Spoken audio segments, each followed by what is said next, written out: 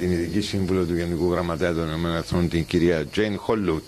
Ε, συνεχίζονται οι διαβουλεύσεις, ε, συνεχίζεται η προσπάθεια προκειμένου να πετύχουμε το σκοπό μας. Πώς σχολιάζει το Προεδρικό τα όσα δημοσιεύονται στα κατεχόμενα ότι υπήρξε χθες βράδυ από πλευράς εκπροσώπου της ελληνοκυπριακής πλευράς κατάθεση ριζοσπαστικής αναφέρουν πρότασης; Δεν υπάρχει λόγος να σχολιάσουμε δημοσιεύματα. Η προσπάθεια βρίσκεται σε εξέλιξη και θα πρέπει να περιμένουμε. Αυτό που μπορώ να σας επαναλάβω είναι ότι ο Πρόεδρος είναι αποφασισμένος και έχει όλη την ε, καλή θέληση ούτως ώστε σύμφωνα με την ε, έκκληση του Γενικού Γραμματέα να συμφωνηθούν όρια αναφοράς για να ξεκινήσουμε ξανά τις διαπραγματεύσεις. Έκαμε όμως κάποια πρόταση ο Πρόεδρος της Δημοκρατίας έτσι ώστε να καταλήξουμε σε αυτούς τους όρους αναφοράς. Γίνονται διαβουλεύσεις.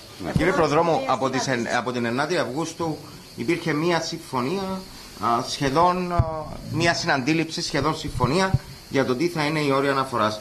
Τι είναι αυτό που ταλαιπωρεί εδώ και πέντε μέρες, αφού υπήρξε αυτή η αρχική συναντήληψη, υπήρξε η παναχώρηση από την άλλη πλευρά επί αυτών που είχαν α, συμφωνήσει οι ηγέτες των δύο κοινοτήτων. Πράγματι, υπήρξε συναντήληψη στις 9 Αυγούστου. Ε, και γι' αυτό τον λόγο είναι που βρίσκεται εδώ η κυρία Λούτ και γίνεται η προσπάθεια για να, μέσα από διαβουλεύσεις για να καταλήξουμε.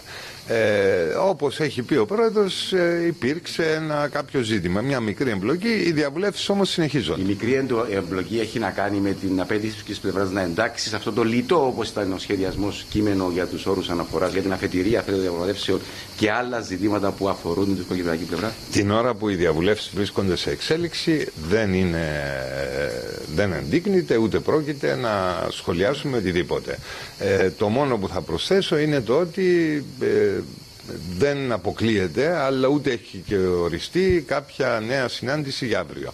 Κύριε Προδρόμο, ακόμη κάτι. Μετά τη συνεδρίαση του Εθνικού Συμβουλίου, εσείς ο ίδιος είχατε πει και νομίζω ότι εξάγεται το συμπέρασμα ότι οι όροι αναφοράς δεν είναι το αποτέλεσμα της διαπραγμάτευσης, αλλά είναι εκεί που θα αναφέρονται οι διαπραγματεύσεις.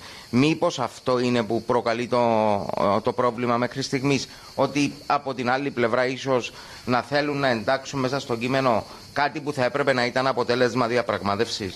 Μα όχι. Αυτό είναι αυτονόητο. Ότι η όρια αναφοράς ε, είναι το σημείο από το οποίο θα ξεκινήσουν οι διαπραγματεύσεις και εκεί που θα αναφέρονται οι διαπραγματεύσεις. Είναι, είναι απλό όσο είναι απλό, ταυτόχρονα μπορεί να είναι και θέμα διαβουλεύση. Επειδή ζήσαμε το ίδιο σκηνικό και το 2014, όταν ξεκινήσαμε για ένα λιτό κείμενο για διακήρυξη μεταξύ του πρόεδρου Στασιάδη και του κ. Έρωβλου και φτάσαμε σε αυτό που φτάσαμε, ένα περιεκτικό κείμενο το οποίο αναφέρεται ακόμη και από πού προέρχεται η κυριαρχία. Ξεκινήσαμε για να διαμορφωθούν οι όροι αναφοράς και εκεί σκοπεύουμε να καταλήξουμε. Υπάρχουν ενδείξεις για τη στάση των εγκύτριων με δεδομένο το ότι ίσως γίνονται κάποιες παρασκηνιακές διαβουλεύσεις. Ο πρόεδρος της Δημοκρατίας συνεργάζεται με την κυρία Λούτ, η οποία ταυτόχρονα βρίσκεται σε διαβουλεύσεις και με τον τουρκοκύπριο ηγέτη. Αυτό συμβαίνει αυτή τη στιγμή και η προσπάθεια θα συνεχιστεί. Βάζει προσκόμματα Τουρκία στο τραπέζι και προδρομικά χαρά κουβέντες.